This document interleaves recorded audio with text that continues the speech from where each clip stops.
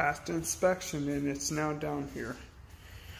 Next step is fully jack up, on jack stands. I got two more. They're up there at my house. And then, yeah, waiting on the electric company to contact me today and let me know when they're coming out and what the quote was. But it's finally down here. And have plenty of room to push it forward if need be, push it backwards if need be, plenty of room to work around it and put stuff